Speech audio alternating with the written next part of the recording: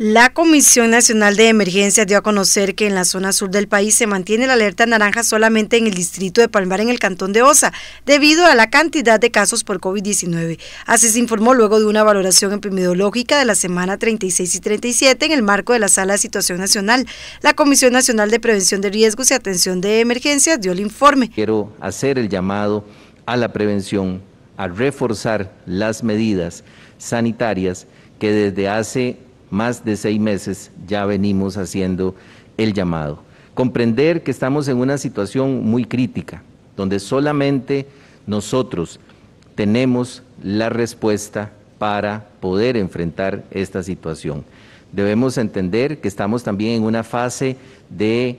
reapertura de algunas actividades, eh, no aquellas actividades que representan más riesgo de contagio, pero sí que en forma controlada podemos ir abriendo algunas actividades productivas, algunas actividades comerciales, recuperando empleos y poco a poco, de una forma muy responsable, también recuperando la cotidianidad en el marco de una nueva normalidad. Hemos visto en diferentes lugares del país cómo se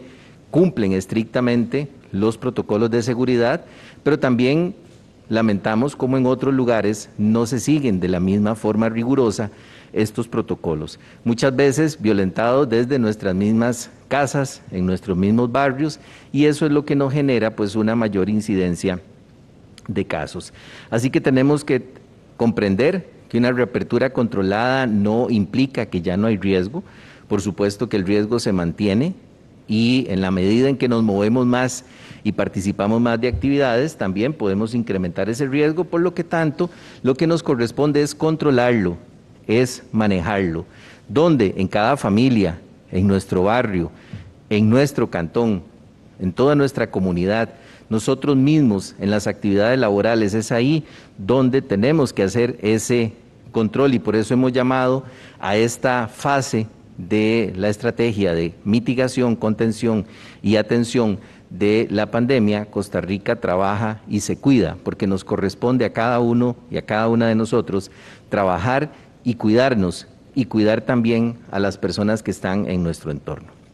Como parte de la estrategia del modelo de gestión compartida, Costa Rica trabaja y se cuida, se determina el porcentaje de cumplimiento de los planes cantonales de prevención por COVID-19. Esta autoevaluación permite revisar los avances y retos a partir del porcentaje de cumplimiento del plan para disminuir la tasa de contagio. Aquellos gobiernos locales que posean un porcentaje de ejecución igual o mayor al 80% del plan podrán optar por mayor apertura siempre y cuando cuenten con un índice de riesgo cantonal bajo. También el gobierno de la República ha asignado, además de las instituciones que ya trabajan en los territorios en el marco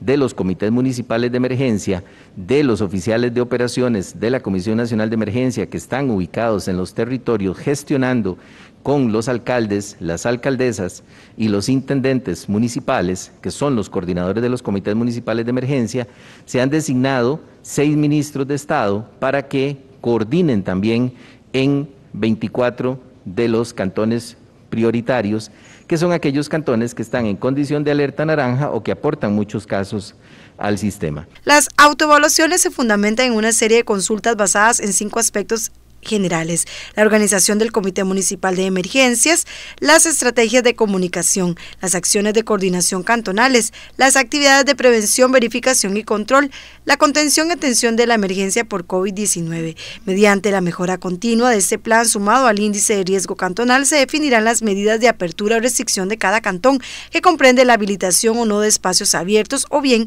la apertura controlada donde solo podrán funcionar únicamente las actividades esenciales como por ejemplo los supermercados o farmacias. Cada plan cantonal es dinámico y se debe adaptar a las necesidades y riesgos de cada territorio. Por lo tanto, la Comisión Nacional de Emergencias dará seguimiento a los planes mediante una evaluación quincenal que consta de sesiones de trabajo con los oficiales de enlace y los viceministros destacados en los territorios. El objetivo es evaluar cada 15 días la efectividad de las medidas y la mejora continua de los planes a partir de las características y necesidades de cada territorio.